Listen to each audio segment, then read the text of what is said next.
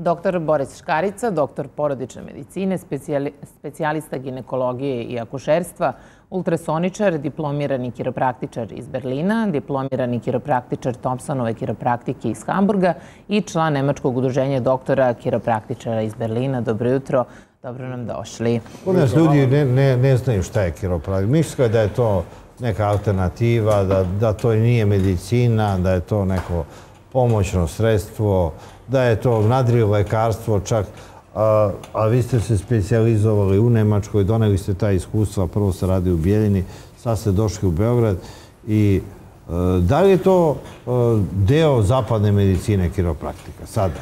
Jer usvojeno svuda. Da, kiropraktika je legalna zdravstvena profesija koja ima zaista više decenijsku praksu u Sjedinim američkim državama odakle je došla.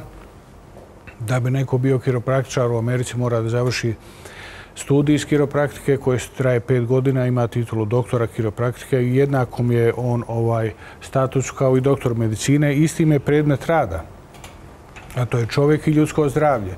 U Njemačkoj gdje sam ja završio, e, do kiropraktičara mora biti doktor i onda završi se e, dvogodišnja specijalizacija iz kiropraktike. Nažalost, mi nemamo u Srbiji Kod nas se to banalizuje, kažu, to je kostolomci, to je da vam kažem, nešto nesigurno. Svaka zdravstvena disciplina ili vještina vuče svoje korijene iz prošlosti, još iz doba Hipokrata poznate kiropraktika, pa u Engleskoj su to bili bonseteri, kod nas kostolomci, u Njemačkoj Knochenbreheri i tako dalje. Međutim, to je sada zdravstvena profesija, a u zapadnoj Evropi, u Njemačkoj gdje sam ja završio specijalizaciju, to je jedna, da kažem, posebna specijalizacija koju mogu završiti samo doktori. Kod nas ovdje u Srbiji ovaj, vi imate mnogo, mnogo ljudi eh, koji zaista nemaju ni minimalne informacije o kiroprakciji, a nažalost ima dosta i doktora, mada ne u toj mjeri kao recimo u Bosni gdje sam ja decenijama radio.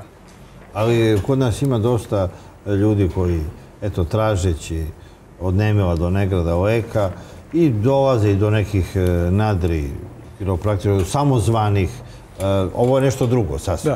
I vi mora svojim rukama možete da uradite nešto što mnogi drugi ne Čarobne ruke, šta je to? Pa to je jedna manuelna Što ne može farmacija, što ne može... Tačno, upravo tako. Pazite, ovaj kiropraktika koristi ruke kao instrument liječenja. To čini u ostalom i hirurg, jel, uz pomoć nekih e, ovaj, alata i tako dalje. Ruke su savršen instrument, ali ako su u funkciji znanja, ako su u funkciji čovjeka koji završi odgovarajuću specializaciju, ako je on doktor medicine i ako ima dovoljno manualne spretnosti. E, kiropraktika je nastala kao odgovor na potrebu da se e, pomogne ogromnom broju ljudi koji danas... A ko su vaši pacijenti? Pa to su ljudi koji imaju... Koji su išli kod lekara, išli u zdravstvene institucije druge, nisu mogli da nađu lek, probali su i onda dolaze kod vas. To su ljudi... Kakve su to bolesti? To su ljudi koji godinama obilaze doktore, traže pomoć, stalno se žale na neke... I kod doktora, i u banje, i u apoteke. I stalno obilaze, traže, idu u diagnostiku, svi organi su u redu, sve je dobro, međutim, oni se žale na glavobolju, na vrtoglavicu, na bolove, u plečkama, trnjenje ruku, lupanje srca. Oni ne znaju šta je izvor to? Ne, ne znaju. To ne zna ni doktor koji nisu završili specializaciju jer se radi u posebnom vrsti poremećaja koji se zovu reverzibilne disfunkcije koje su vertebragenog porijekla. Dakle, to su sve poremećaje koji su povezani sa kičmenim stubom. I oni se svi rješavaju. Imamo iskaz jedne vaše pacijentke koja govori šta je e, sve pokušao i kako je... E, to je bilo najbolje da se vidi. Zorica Vulić. Imat ćete priliku da čujete ispovijest gospođe Vulić Zorica koja je kod nas bila na dva kiropraktička tretmana koja je 25 godina živi u Austriji i 25 godina se liječi od brojnih zdravstvenih tegoba koje su uzrokovani teškim degenerativnim promjenama na kičmenom stubu. E, sve terapije koje je poduzela u Austriji bile su potpuno bezuspješne. Odmah poslije prvog e, tretmana gospođa se osjećala bolje, poslije drugog tretmana ona praktično nema više nikakvih tegoba, vratila se ovaj, normalna pokretljivost u ekstremitetima. Sad ću vam navesti šta je sve gospođa imala od svojih zdravstvenih tegoba. Dakle, gospođa je imala bol u čelu, bol u slepočnicama, pritisak u dubine očiju, omaglice, vrtoglavice, bol u vratu, težinu u ramenima, bol u laktovima, trinjenje u šakama, boli za grudne kosti, lupanje srca, mučinu, bol između plečki, žgaravicu, bol u žičici, bol u donjem dijelu kičme, ona to više nema. A 25 godina je imala. Uz pomoć samo dva kiropraktička tretmana, bez jednog medikamenta, gospođa Vulić više nema nikakvih tegoba. Čućete e, ispovijest gospođe Vulić, ona će vam svojim riječima ispričati kako to izgleda život e, kada imate 30 tegoba, patite od njih 25 godina, liječite se 25 godina, nema nikakvog pomaka. A kako to izgleda poslije drugog kiropraktičkog tretmana? 25 godina sam patila od jakih bolova, od glavobolje, od nesvjestice, pa ne znam vi šta, šta mi nije otišlo kad mi je sve bolilo. Imala sam mučninu, bol iz, ispred plečke, žgarevicu, koljena me boljala, sve što postoji što se tiče kostiju.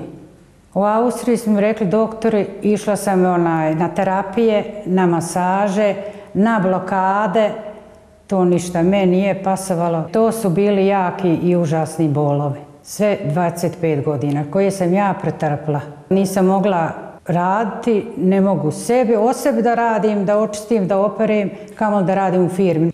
Poslije drugog tretmana kod doktora Škarici ja nemam bolova u, u vratu, u kičmi, ramenima, prsima, grudnom košu, nema žgarevice, sve mi je super.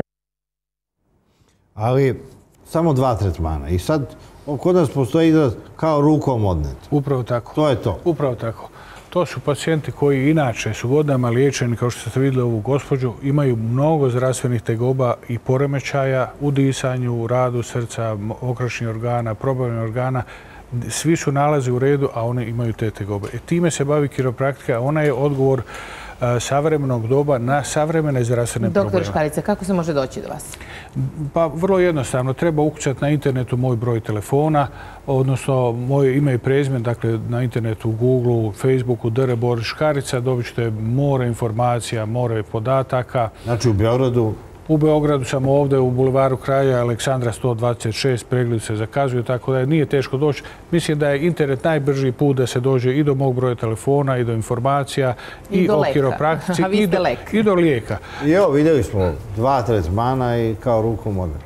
Upravo tako. Hvala vam najljepše na gostovanju. Da čujemo kako nas vreme očekuje toku dana i pred praznike.